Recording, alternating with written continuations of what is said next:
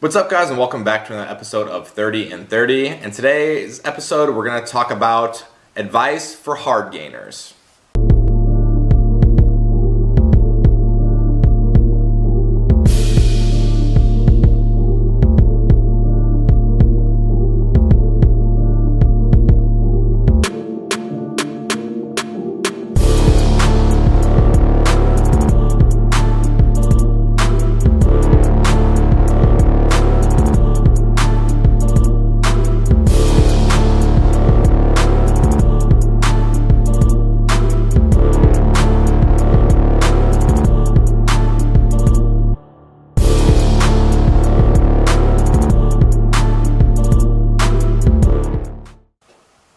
Now, hard gainers might be a term that's used a lot on the internet, uh, and yes, maybe I did use that term a little bit out of place. Uh, what is more commonly referred to as an ectomorph, uh, someone who's a little bit smaller, thinner, uh, just doesn't carry a lot of muscle. So we all know it's ectomorph, endomorph, and mesomorph. Uh, those are the three body types, but today we're going to focus on the ectomorph. Uh, for someone out there who struggles uh, to gain muscle, uh, to build a lot of size. Uh, that's what we're focusing on today. Uh, so first and foremost, when starting with anyone who is struggling to build muscle or is looking to gain muscle, I always want to focus on you know what they're putting in their bodies. Uh, I think a lot of us have a bad habit of um, being maybe a little bit pickier than we should and only eating the foods uh, that we like. So when we are looking to gain muscle, we might need to change our diet. Uh, so that is first and foremost uh, what we need to do. Along with that, at the same time, obviously, we're going to want to make sure uh, that we are doing the basics of weight training. So, are we tracking our weight? You know, are we constantly progressing in in weight? You know, are we adding pounds here and there to the lifts that we can? Now, if you're someone who struggles to really gain weight and maybe even to put food down. Uh, because sometimes, you know, it may be different. Everyone has their different appetites. I happen to have a very large appetite, uh, but I know some people on the opposite end of the spectrum uh, tend not to be too hungry. Um, so, what I recommend for people in those circumstances is you know we pretty much are going to try to do all the things opposite of what we would do when we're dieting. Uh, so for someone looking to gain a lot of weight uh, let's think of some of the things that we do you know when we diet. Uh, we tend to eat large voluminous meals. Uh, we tend to you know try to space them out uh, at lengths of different lengths of time. Uh, but let's focus on that first one here first. Instead of a high volume meal, we might want to focus on a very calorically dense meal. Uh, and some people, uh, you know, may, like I said, may be a little bit pickier than others, uh, but pick out foods that are calorically dense. Um, and I know this one gets thrown out there a lot as far as like uh, the the IIFYM bodybuilder, uh, but let's look at something like a Pop Tart. It is super calorically dense, occupies very little volume. Uh, you could throw down 70 grams of carbohydrates with a Pop Tart, and you don't have to eat you know any kind of vegetable or salad or anything like that. That would be huge, huge in volume. Goes down easy. Yes, a lot of that is sugar. Yes, you probably can find something else uh, that is a little bit healthier out there for you, um, but that's something that you could throw down. Now, one of the other things that people try to do is when they're losing weight is they would like to eat whole food meals. Or if you're someone who doesn't like to eat a lot of whole food meals, what I would encourage you to do is actually start drinking some of your calories. So yes, there are mass gaining shakes out there, and I'll get to get to those in a second.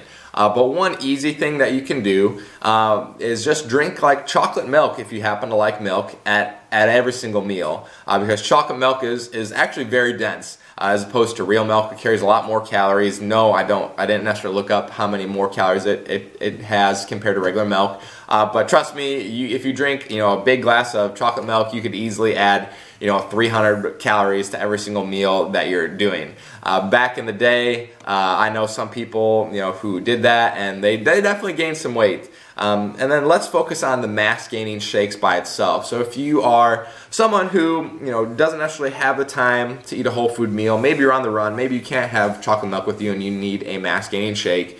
Uh, you should find something that definitely has whole food ingredients in it first. Uh, something in particular that is hopefully that's not full of like dextrose or sucralose or something like that that is high in sugar.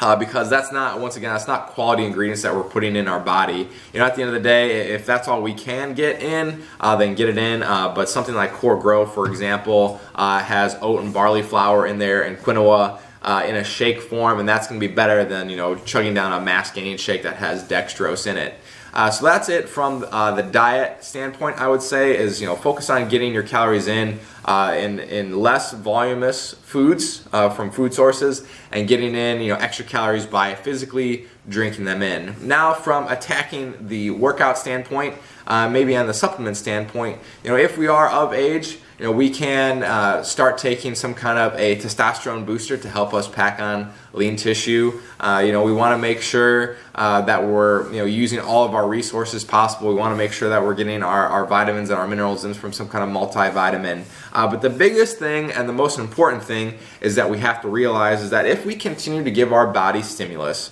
over time, you know, for months and years on end continuously, uh, our body will adapt. You know, it is going to change. Now, some people, for instance, like myself, uh, you know, we I tend to gain muscle a little bit easier than others. I will admit that. Um, over my career, I, am definitely starting to realize that that not everyone who's 27 years old, you know, has a physique that I do. A lot of other people struggle uh, to gain muscle as quickly as I have over my career. So yes, there are people on the opposite end of the spectrum. So realize uh, that you know you might not be gaining muscle as quickly as other people, but if you keep giving your body stimulus and you keep ramping up that stimulus, if you keep upping the weights, you know, uh, if you keep adding a little, a few calories to your diet, you know, on a weekly basis to make sure that you are actually getting in all those calories, you know, your body will adapt. You know, it might not adapt as fast as some others, uh, but it, it, essentially has no choice but to adapt. Uh, I think a lot of people cut themselves short. They get frustrated with their gains,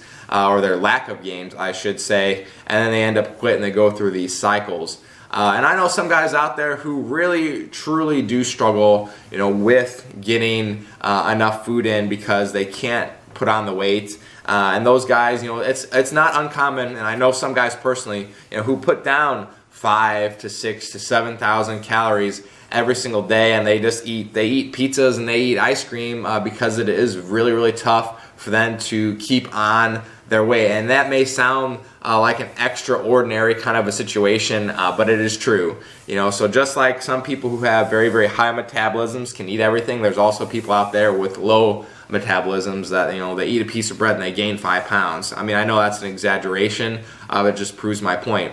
So there's you know all a ton of different body types, a ton of different metabolisms out there. Uh, we just have to keep chipping away at it because if we keep giving our body stimulus, like I said before, you know, our body will have to adapt. The last thing I will say is this. Uh, is that if we choose uh, to be consistent, you know, with both our diet and our training over time, you know, we give ourselves week after week, month after month, year after year, we will eventually see positive change. You know, uh, maybe within the, you know the next, maybe if you started seven years ago, maybe you wouldn't have the same progress that I have but you'd have a lot more progress than if you had, would not have started you know, from the first place. So guys, keep chipping away.